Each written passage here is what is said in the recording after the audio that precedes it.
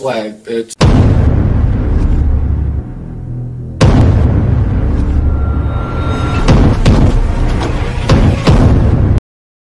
Oyentes, sean bienvenidos a un nuevo capítulo aquí para el canal y como no trayendo las últimas exclusividades, noticias y gameplays que te puedas imaginar en un solo canal.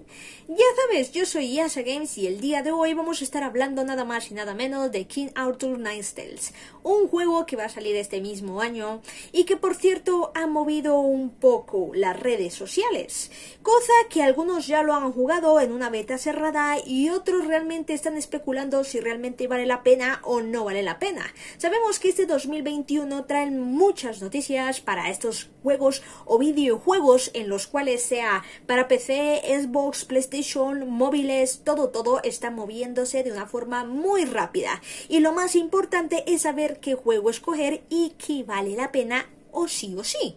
Recuerda que además de eso tenemos que estar muy pendientes si este juego es exclusivo o no. Sean bienvenidos. Este 2021 está galopeando unos proyectos así en medio de la oscuridad que nos van contando ese desarrollo y esa finalización de cada proyecto y que, diferente a los otros años, han tratado de sacar los juegos en forma beta para que los conozcan mucho antes de que salga. Estrategia, marketing forma de estabilidad económica? No lo sabemos. Una de esas fue Rod Company, sacó una beta cerrada que, bueno, para algunos fue exclusivo y para otros tenían que comprar para poder entrar a la beta cerrada.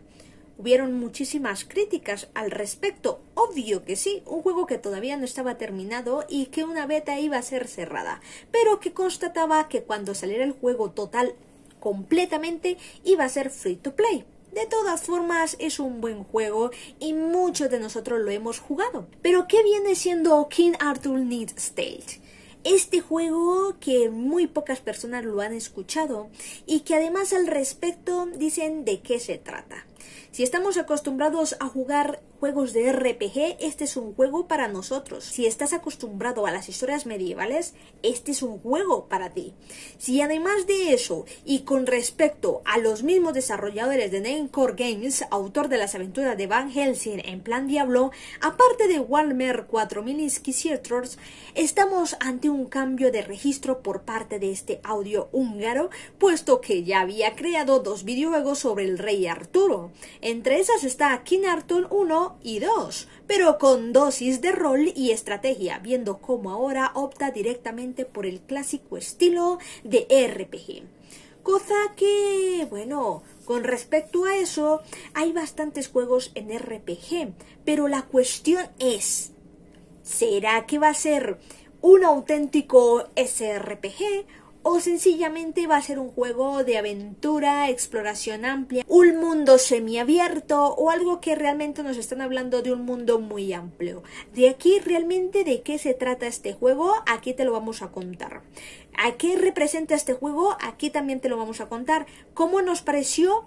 También te lo vamos a contar. Por eso, sacúdete las pulgas, prepárate unas palomitas de maíz y, como no, un buen café. ¡Manos a la obra!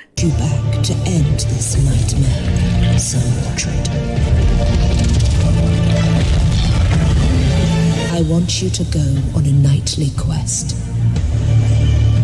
I want you to finish what you have begun. Kill King Arthur.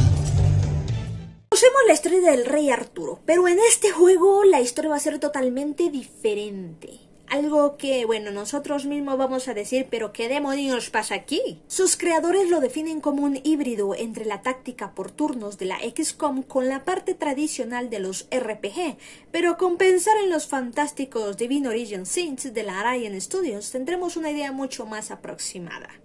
Pues King Arthur King Tales es un juego de rol táctico de lo más dinámico, en la idea de otros juegos que combinan exploración libre con combates por turnos desde Wasteland hasta Mutant Year Zero Road to Edge. Esto significa que hasta que no nos vea el enemigo o se active un acceso en su historia, podremos seguir con total normalidad a la hora de movernos por el escenario.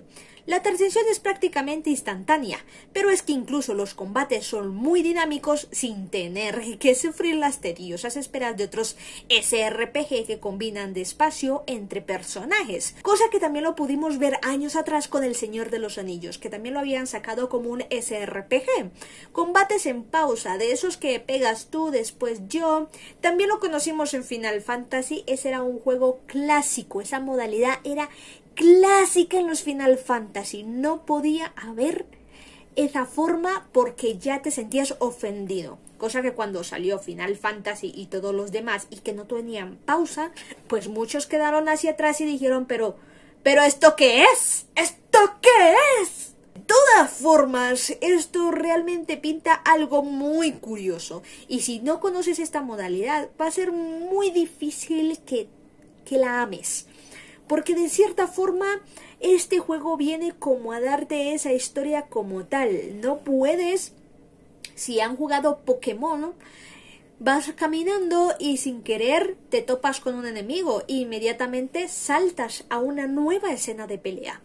Aquí también nos están informando que va a ser particularmente parecido a esto. Y con esto podemos estar diciendo que además de las pertucalidades de batallas que nos presentan, lo llano antiguo en cualquier caso es como arranca su historia, cosa que pues nos muestra una visión mucho más oscuro de la leyenda de los caballeros de la mesa redonda, ya que para empezar somos testigos de cómo Sir Mordor asesina al rey Arturo en una cruenta batalla, viendo cómo en su último aliento el propio rey acaba igualmente en sus némesis.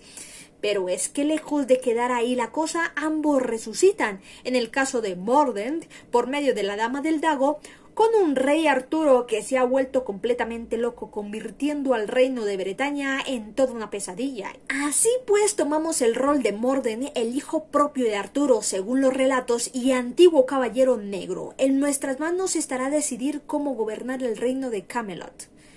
Bueno, ¿y quién vamos nosotros a mover acá con respecto a que Arturo se ha vuelto totalmente loco? Pues exactamente a su hijo Morden, ese caballero oscuro, ese caballero que va a tratar de ver qué es la cuestión que pasa en la situación y con respecto a eso es el que va a gobernar el reino de Camelot. Pues una vez sea restaurado, al influir el desarrollo de la historia, las decisiones morales que tomaremos, bien sea del bien o del mal, esto irá modificando el apartado bautizado como eventos de moral, donde se registrará todos los sucesos vitales acompañando de un tablero desde el que ver qué podremos desbloquear según la actitud tomada y también en base a la religión. Y esto me llama la atención y me hace acordar de un juego muy exclusivo de Xbox que se llama Fable. No sé si ustedes lo han jugado. Una de las formas que tenía este juego era que te podías volver ángel o demonio. Bueno, yo siempre buscaba convertirme en demonio pero es que era muy difícil. De todas formas, no queremos decir que Fable en su jugabilidad se parezca a este juego. No, señoras y señores. No, no, no, no. Automáticamente su juego es muy diferente, su jugabilidad es muy diferente. Pero la historia como tal, que tengas que estar tomando decisiones, eso ya es muy parecido. Los diálogos son algo esenciales para ver en qué rey te conviertes tú, sea bueno, sea malo, sea odioso, sea bondadoso. Sin ir tan lejos, nuestras decisiones también influirán a la hora de toparnos con unos personajes u otros dentro del reino de Camelot, por mucho que luego en nuestro periplo por las misiones nos vayamos cruzando con otros personajes históricos como Sir Kay, Sir Balan y Lady Dindraith, cada uno con su clase. Y de las estructuras de pelea, si has jugado Diablo, te vas a acordar muchísimo a ese juego. Demasiado diría yo. ¿Por qué? Porque sencillamente su estructura y los monstruos que vas encontrando en el escenario son muy parecidos. Y esto, bueno, a diferencia de que Diablo era una, una forma de jugabilidad directa donde podías estar pegando sin importar si el enemigo estaba ahí o no, con esta es algo más a esos juegos pausados, teniendo en cuenta que si no estás acostumbrado a jugarlo, pues no sería un juego agradable para ti. Independientemente del estado primigenio en el que se encuentra esta versión, y que por cierto su versión es un SRPG bastante consistente en cuanto a las batallas se refiere, con mucho dinamismo a la hora de desplazarnos por las casillas o alternar entre cada héroe, por mucho que esté regido por turnos.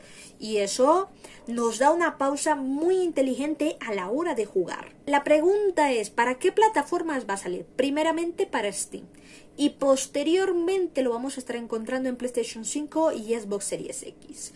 No es un multijugador, eh, de todas formas es un juego muy amplio que vas a estar considerablemente muchísimo tiempo.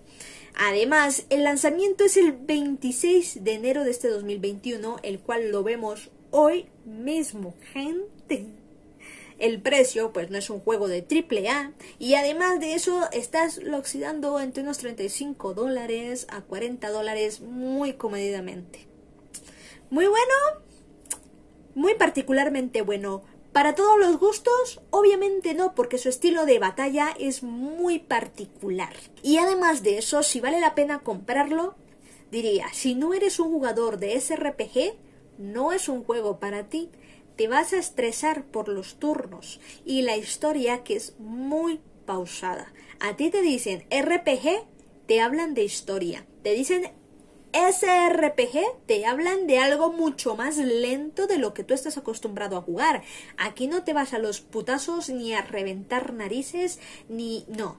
Aquí te vas pausadamente refiriendo a qué lo que quieres con tu vida. Y no siendo más, me despido con la mejor actitud del mundo. Y recuerda, ya puedes ser miembro del canal, apoyar a un creador de contenido en el enlace de PayPal y tenemos directos todos los fines de semana, viernes, sábados y domingos, aquí en el canal.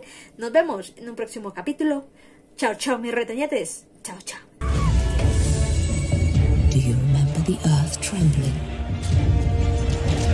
Can you recall the gathering of terrible armies? You saw Camelot burn and watched the power of magic tearing apart the world at its seams. You led knights and monsters into a deadly storm of fury and blood. You destroyed the ladies of the sun and the lords of the winter.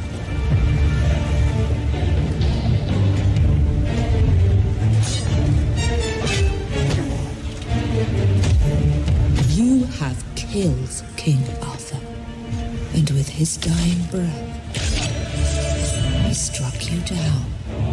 You both died, and yet you both live.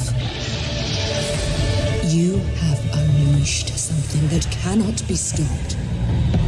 The tide of madness and pain will swallow us all.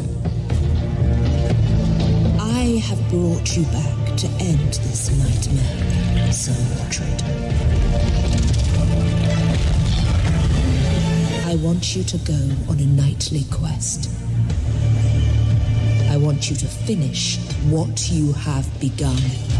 Kill King Arthur, or whatever he has become, after I took his dying vessel to Avalon. morning.